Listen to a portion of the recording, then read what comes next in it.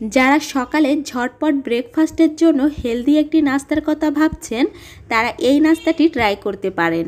বানাতে মাত্র 10 মিনিট সময় লাগবে, আর খেতে অনেক বেশি মজার হয়ে থাকে। তো নাস্তাটি বানানোর জন্য এখানে আমি চার পিস হোয়াইট ব্রেড নিয়েছি, আর ব্রেডের সাইডগুলো একটা ছুরি দিয়ে কেটে বাদ দিয়ে দিচ্ছি। কাটা হয়ে গেলে ব্রেডগুলোকে একটা সাইডে রেখে দেবো। এবার একটা বাটিতে দুইটা ডিম নিয়ে নিচ্ছি, সাথে দুই টেবিল চামচ চিনি নিচ্ছি। চিনিটা আপনাদের টেস্ট অনুযায়ী কম বা বেশি নিতে পারেন। এক চিমটি লবণ দিচ্ছি, এতে করে মিষ্টির ব্যালেন্সটা ঠিক থাকে। ওয়ান চা চামচ ভ্যানিলা অ্যাসেন্স দিচ্ছি, তবে আপনাদের হাতের কাছে ভ্যানিলা অ্যাসেন্স না থাকলে বাদ দিতে পারেন। এরপর একটা হ্যান্ড উইচ বা কাটা চামচ দিয়ে এটাকে ফেটে নিতে হবে, চিনিটা ভালোভাবে গলে যাওয়া পর্যন্ত। এখন এর ভিতর ওয়ান থার্ড কাপ লিকুইড দুধ দেব। দুধটাকে আগে থেকে জাল করে ঠান্ডা করে নিয়েছি।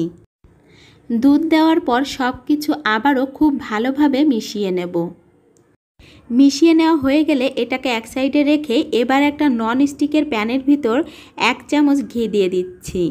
আপনারা ঘি, বাটার অথবা তেল যে কোনোটাই ইউজ করতে পারেন। এবার সেই দুধ ডিমের মিশ্রণের ভিতর একটা একটা করে ব্রেড দিয়ে ভালো করে চুবিয়ে নেব। তারপর ফ্রাই প্যানে ঘিয়ের ওপর ব্রেডটাকে বসিয়ে দেব। একইভাবে চারটা পাউরুটি এইভাবে দুধ ডিমের ভিতর চুবিয়ে প্যানের ভিতর এভাবে বসিয়ে দেব।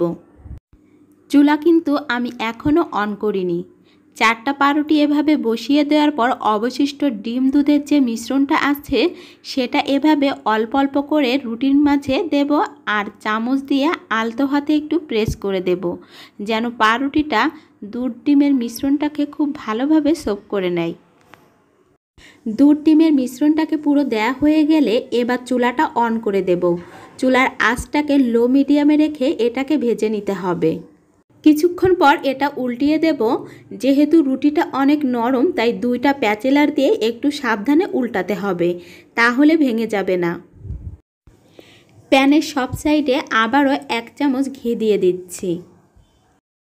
কিছু সময় পর পর এভাবে দুইটা প্যাচেলার দিয়ে ব্রেডের চারপাশে উল্টিয়ে ভেজে নেব।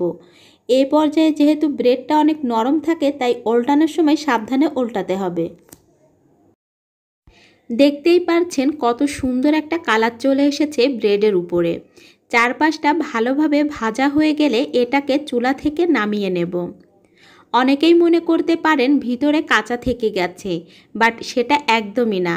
আপনারা একবার হলেও বানিয়ে দেখবেন, খেতে অনেক বেশি মজার হয়ে থাকে। রেসিপি ভালো লাগলে একটা লাইক দিয়ে চ্যানেলটিকে সাবস্ক্রাইব করে আমার সাথে থাকবেন। আজকের মতো বিদায় নিচ্ছি। আল্লাহ হাফেজ।